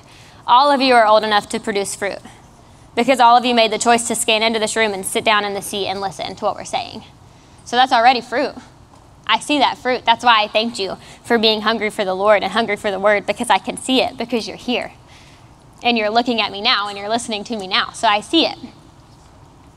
So you know that that first one does not really apply to you because you are old enough to produce fruit. You're old enough to know right from wrong. You're old enough to make choices, right? So the other ones, the tree doesn't receive enough sunlight, the flowers aren't being pollinated, cold temperatures kill the flower buds, improper watering, fertilizing, or pruning. When you think about that in the context of your walk with the Lord, it all has to do with the Word and it all has to do with your habits. Establishing, going back to the plants, establishing a tree in the dirt is a one time thing when it's a tree outside like that. Those orange trees aren't going to be uprooted and moved somewhere else. That's a one time thing. But in order for them to be healthy orange trees, they have to have sunlight. They have to have water. They have to have fertilizer. They have to have good temperatures. All of those factors matter. It's the same way with us. The things that you establish in your life matter. The habits that you form matter. The times that you read the word matter. I typically don't talk about things being habitual in our relationship with the Lord because when I grew up, I was very much checklist Christianity minded. And it would make me almost scared or nervous if I like didn't check the box, right? Of like, oh, I didn't read the Bible today. Oh my goodness, what's going to happen? Like it was just a pressure to me of I want to please God. I want to live for him. I want to love him the best way that I know how. And so it became very religious for me. So as a minister now, I typically don't talk about habits in this way, but Jesus had habits established in his life. So I want to look at, at those verses and talk about Jesus. Luke chapter 4. We'll start in verse 16.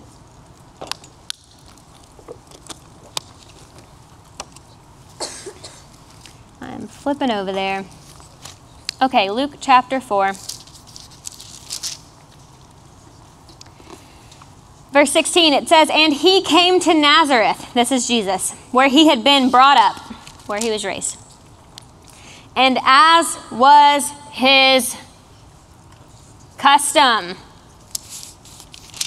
he went to the synagogue on the Sabbath day, and he stood up to read. We're going to stop there for a second. I've got a couple of other translations. Can I get that in the NLT, please? That was the ESV. It says, When he came to the village of Nazareth, his boyhood home, he went as usual to the synagogue on the Sabbath, and he stood up to read the scriptures. Jesus had a routine, he had a habit. I think we have this picture of Jesus sometimes like he was just this real loosey goosey person, just kind of floated around and did whatever he wanted to do and walked wherever he wanted to walk. And he went over here and he healed a person and he did this and he did that and he talked here and he got on a boat and he walked on the water and he was just like, I'm Jesus. I'm going to do whatever I want to do. Do you think about Jesus that way sometimes? You know, that's a good thing. I do. I read the New Testament and I'm just like, wow, he was just like going and doing and going and doing and but he had habits even though every single day of his life didn't look the same, because he ministered to different people every day of his life, he went to different towns, he went to different villages, he talked to different crowds. Sometimes he traveled by boat, sometimes he traveled by feet, sometimes he walked on the water. He still had habits established in his life. We know this because it's what the word says that it was his custom. A custom is um, I don't want to say the word ritual as in the sense of like it's a ritual, like spooky, weird spirituality type thing, but it was something that he practiced. A custom is like a tradition, it's something that you do regularly. You become accustomed to doing something, you get used to it. It says, as usual, he went to the synagogue. It was a habit for Jesus to go to the synagogue and to read the scriptures. That was a habit. That was a routine. And what's cool when let, let's let's keep reading. Verse 17. It says the scroll of the prophet Isaiah was given to him. And he unrolled the scroll and he found the place where it was written, The Spirit of the Lord is upon me, because he has anointed me to proclaim good news to the poor.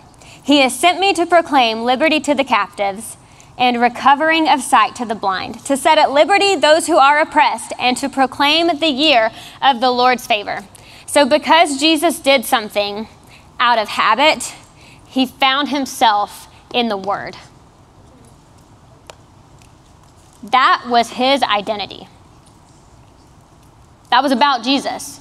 It was a prophet, it was a prophecy from Isaiah talking about the man and person of Jesus. And he stood there in the synagogue and he read it out of habit. And one day, it was revelation to him of, I have found myself in the Word. So many of you like miss ashley was saying want to know like how do i hear god? How do i how do i know what i'm called to do? How do i know who i am? How do i keep this fire going when i go home? You find yourself in the word. But you may not find yourself in the word the first time you pick it up and read it. You might have to form the habit before that revelation starts clicking. Because it's new because it's foreign and because the devil's real the devil can't take away from the Word of God at all. The Word of God is established. And whether or not you read it, whether or not you believe it, does not change the fact that the Word of God is established. But when you start establishing the Word in your life, the devil is going to try to take it. It says that, that, that the, the thief comes to steal the Word. The devil is trying to steal the Word. So every time you go home and you open up the word, your phone dings. Oh, gotta check. Gotta check. Back to the word. I'm back, Jesus. I'm focused. I'm focused. It dings again. Ah, okay. I'm gonna put this over here now. Back to the word. Your watch buzzes. Ah, okay. I'm gonna take the watch off. And then you're back to the word. And then you hear a loud noise outside. Or like all of the distractions, all of the things you have to establish the habit. I am turning down my life and I am turning up the word. It's not a bad thing to have a set time every morning to read this. It doesn't make you religious. Commitment is required to bear fruit. You have to establish this in your life if you ever want to see any fruit in your life. Even though you came to Southwest Believers Convention, even though you sat here and you said, I'm established in the Word, I'm rooted in the Word, I'm grounded in the Word, but if you go home and you never open it, this won't be established in your life. It is up to you and your habits. Terri Savelle Foy always quotes, I believe it's John Maxwell who says the, the secret of your future is hidden in your, or the secret of your success is hidden in your daily routine. And you can go all sorts of directions with that statement and talk about leadership and success and skills and all of that, but apply that to your life as a believer. The secret to your fruit is hidden in your daily fellowship with the Lord. Amen. Your daily fellowship with the Lord. Because, you know, what's cool about fruit and trees is that if that tree is filled with oranges and somebody comes and picks them off, what does it have to do? Produce more oranges. Or if nobody picks off the oranges, what happens when they get ripe? They're going to start falling off and hitting the ground. And what does the tree have to do? Produce more oranges. So just because you come and you have a one time encounter with the Lord in this ballroom in Fort Worth, Texas, and you see fruit in your life for a week, doesn't mean that you're set for life to keep seeing fruit. Your salvation is secure. Amen? Amen. You could have received Jesus and have meant it and have been so true about it in your heart and in your life in this moment, and your salvation can be secure. And you could leave this ballroom and you could go talk nasty to your friends, and you're still a Christian. The Lord still loves you. The pastor said that earlier on pastor panel. The forgiveness of God is, is always available to you. But what kind of fruit do you want to show? Because Matthew says that what happens to the trees that are unhealthy and diseased and they bear bad fruit? It says they're cut down. I'm not telling you that God's going to cut you down if you make a wrong choice. He's not. He's not waiting for you to mess up so that something bad can come into your life. But do you know who is waiting for you to mess up to bring bad into your life? The devil. People have this. This was something that, that clicked so strong in me. I believe it was earlier in this year. If not, it was the end of last year. People get, I, it's, a, it's, a, it's a plot of the enemy to make people believe that God is just up in the sky, watching, breathing down your neck, and waiting on you to mess up. Because the moment you mess up, you no longer have Psalm 91 protection, and so anything could happen. It's twisted because the devil is the one waiting on that to happen. The devil is the one waiting on our words to slip so that he can bring the curse into our lives. It's all him. Everything bad is from Satan, everything good is from God. But again, the difference is God doesn't control us, but the devil will take every opportunity that you give him to get control of your life. Every open door, the enemy will take. Every open door, even if it's just cracked. So we don't read the word out of religion, we don't form habits out of fear. We don't walk with God just because we don't want something bad to happen. We have a relationship with Him because He loves us and because we love Him. But that should fuel why you form habits and why you choose to establish the Word in your life. Because you know that when you're walking with God, He's not going to let anything bad happen to you. He's going to guard you. He's going to protect you. And you know that when something bad does happen, it was not from God. It was not from God. It was not from God.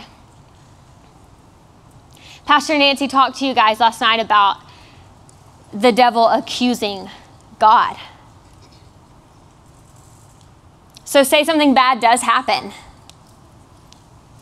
Does it mean that you sinned? Does it mean that you did something wrong? No. We live in a fallen world. The devil is running rampant, trying to, to, to steal and kill and destroy wherever he can. So we don't let the bad things that the enemy does affect our fellowship with the Lord and affect what we have established. Does that make sense? Okay.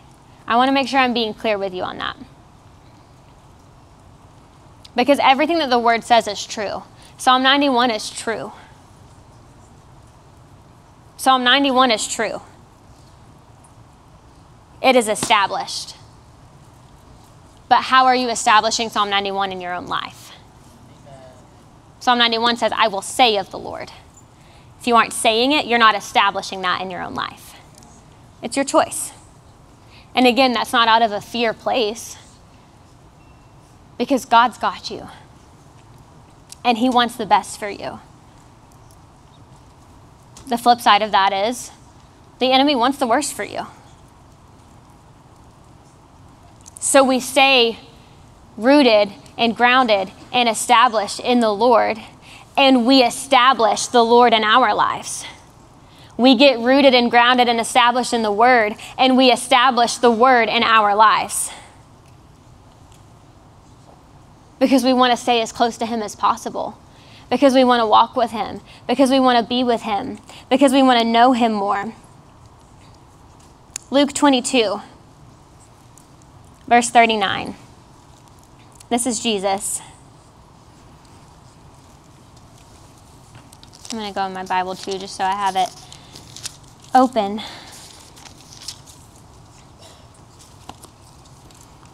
This is Jesus. And he came out and went, as was his custom, to the Mount of Olives, and the disciples followed him. Do you guys know what's about to happen right here? You can say it. Anybody know? He's about to get arrested. And then what happens? He gets crucified. So this is Jesus in the garden. It says, When he came to the place, he said to them, Pray that you may not enter into temptation. And he withdrew from them about a stone's throw, and he knelt down and he prayed. I'm going to stop there because this was leading up to Jesus' darkest hour. Hearing Pastor Terri talk about what Jesus physically went through in this moment will change things for you. He knew they had just had communion, they had had the Last Supper. He knew Judas had betrayed him. He knew it was coming, okay? And where did he turn? He turned to his habits. It says that it was as his custom. He went to the Mount of Olives.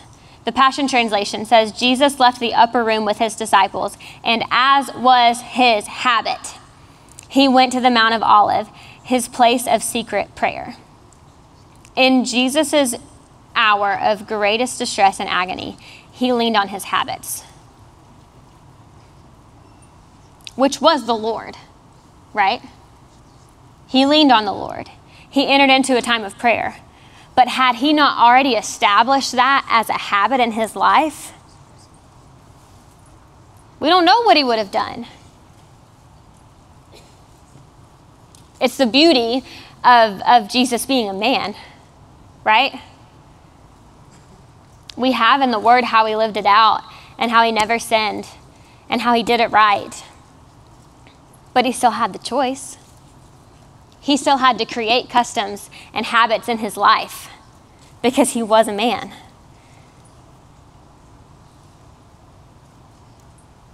Was he fellowshipping with the Lord at all times? Absolutely. He was talking to God all the time. Right? But even Jesus had to have times of secret prayer. Even Jesus had to get away from everybody else and just go be with the Father. Even Jesus. If Jesus had to establish that as a habit in his life, how much more do we need to do it? Your habits are the things that you will go back to when the enemy is putting pressure. Because, yes, the Lord has got you. Yes, the Lord does not want any bad thing to, to come into your life. And no, He's not just allowing things to take place. But do bad things happen? Yes. It's not God's fault because He's good. And in those moments where the enemy is trying to stir up trouble and pressure, what are you turning to? It's really easy in this moment to say, I'm turning to God. But if you don't establish that as a habit in your life, you're going to turn to Netflix. And you're going to say, I just need to tune everything out and just get my mind off of what's happening, and I just need to watch a show. If that's your habit, that's what you're going to turn to. If your habit is gossip, the moment something happens in your life, in your friend group, where are you going to turn? You're going to turn to gossip because that has become established in your life as a habit. But if you choose to establish that you are a person who guards your words and you take things to the Lord, then when something happens, you're not going to turn to gossip because that's foreign to you. That's not normal to you. So you're going to turn to guarding your words and talking to the Lord. It's so easy at these conventions to say what we want to happen, to say what we want to establish. But if you don't actually establish it, there's no fruit. You choose what fruit is going to be established in your life. You have to establish your habits, or your habits will establish you.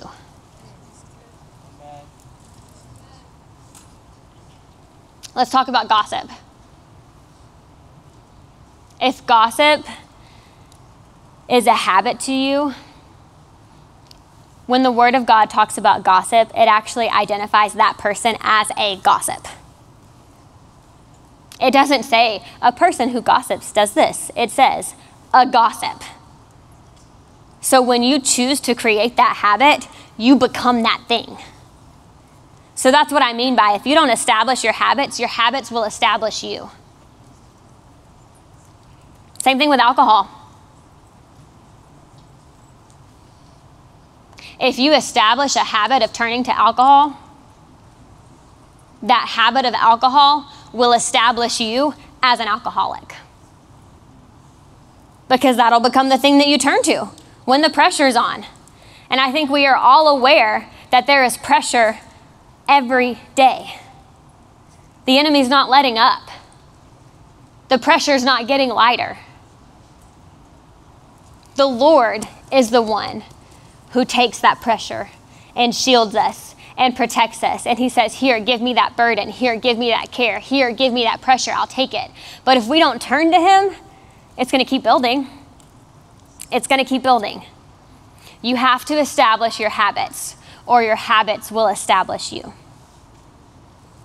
If your habit is prayer, you're going to be known as a man or a woman of prayer that habit of prayer will establish you. And that's a good thing. That's an amazing thing.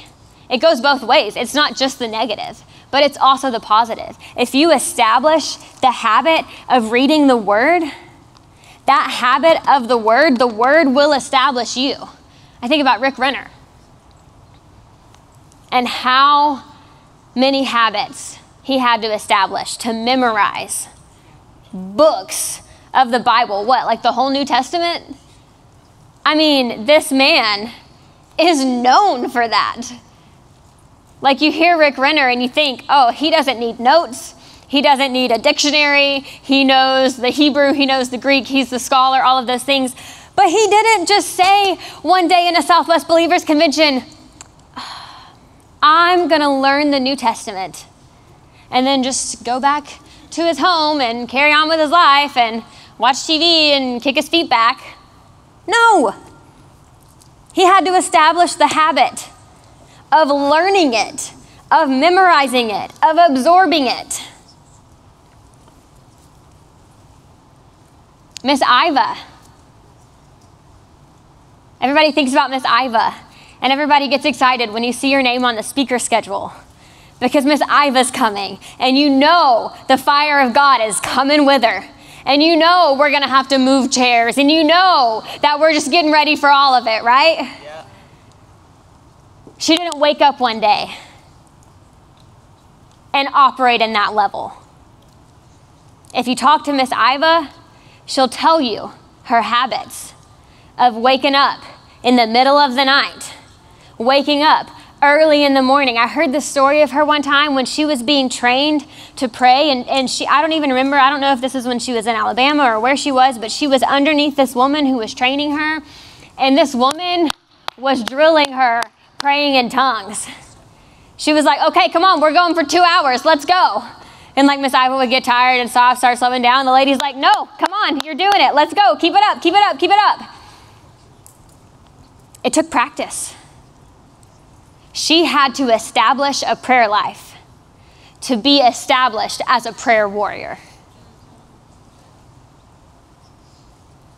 I'm sure she was established in the fact that prayer works. How many of you are established in the fact that prayer works? Okay, but how many of you would say that maybe you don't feel like all of your prayers have worked?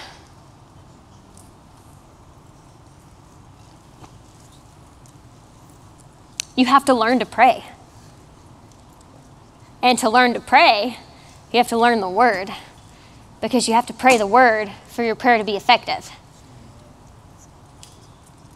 So if you establish a habit now of praying every morning in tongues, five minutes, eventually the Holy Spirit's going to lead you to increase that, to increase it, to increase it, to increase it. And then eventually, you'll be established as a man or a woman of prayer. Pastor Holden, when he heard Pastor Terri praying at Southwest Believers Convention, and he said, Lord, if you teach me to pray like that, I'll never go another day of my life without, without praying, without talking to you. He used to think that prayer was boring. But the Pastor Holden that you see now is here because his habits that he formed have established him. It's your choice. It's your fruit. It's your day. Miss Iva also has 24 hours in her day.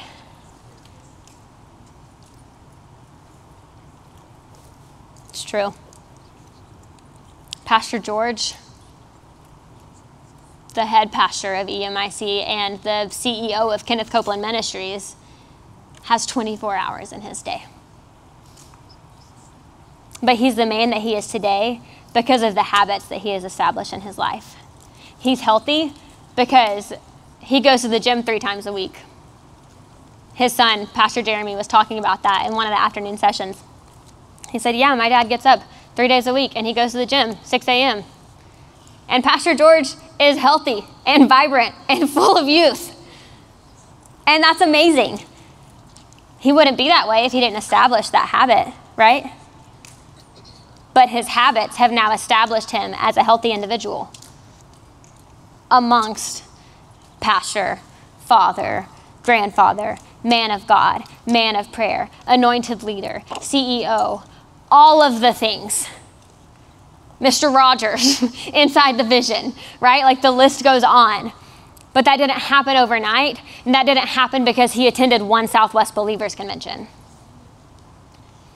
He talks about how Pastor Terri, when they met, she handed him like all of Brother Copeland's tapes because Brother Copeland sent them. But had he not listened to them, the fruit that you see today would not be here. He had to make that choice. We have the same choice. I'm going to go to James chapter 2. Y'all doing good? Praise the Lord. I love talking about Jesus.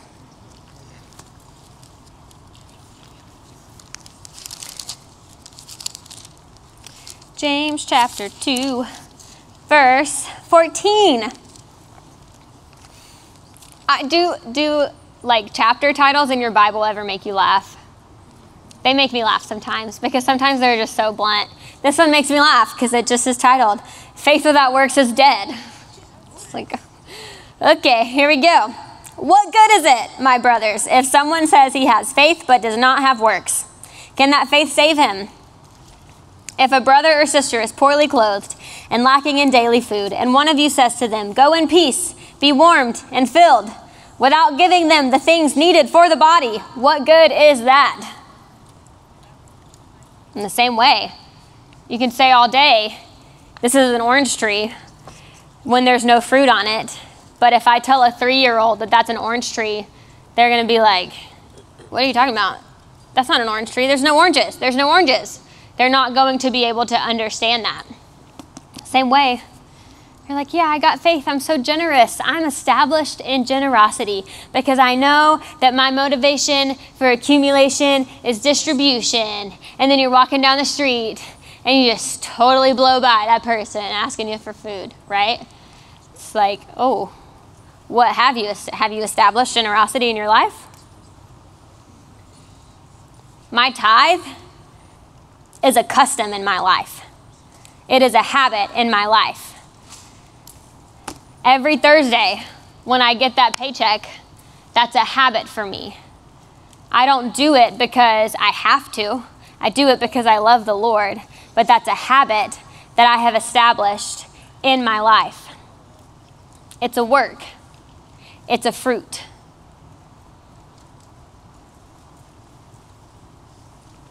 When your heart is towards Jesus, you're going to produce real fruit. You're going to want to read the word. You're going to want to pray. You're going to want to be with Him. But you have to have action. You have to have the works.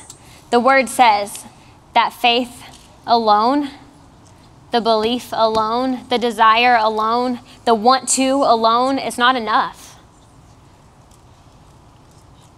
So you can be at Southwest all week and you say, I'm established. I want to walk with the Lord. I want to, I want to, I want to. But if you don't make the decision to go home and do something, you're going to be like that first tree with no fruit. But if you choose to start at your level, even if it's small, even if it's a verse a day, even if it's five minutes a day, even if it's, I'm going to start going to church every Sunday, I'm going to start going to youth every Wednesday. I'm going to start praying in tongues five minutes a day. Even if it's starting small, you're going to see the fruit. You are going to see the fruit. Say, I am, I am going, going, to see, to see the, fruit. fruit. It's up to you to establish the habits in your life in order to produce the fruit that the Lord has intended for you to produce. Does that make sense? So establish your habits or your habits will establish you. Amen? Amen. Praise the Lord. Thank you for listening, for receiving the word today, for being here, for being hungry. And if you have any questions about establishing habits in your life or how to do it, come talk to one of us and we will gladly give you some tips and some pointers because we love you and we are here for you. Amen? Amen. All right. Thank you. Praise God. That was awesome. Establish your habits or they will establish you. Cool. All right, let's stand to our feet. Let's get out of here. Father, we thank you for these for this session. And we ask that you help us to water the seeds that were planted this afternoon. We thank you for um, just all that has taken place over these five days. And we just thank you that we're not done yet. So, Lord, as the students go to um, have their break and have dinner with their families and their friends, that you would bless them, that you would keep them. In Jesus' mighty name, amen.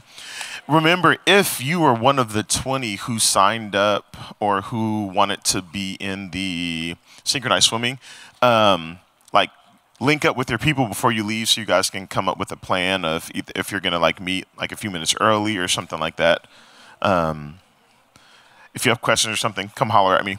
Um, all right god loves you. We love you. Jesus is lord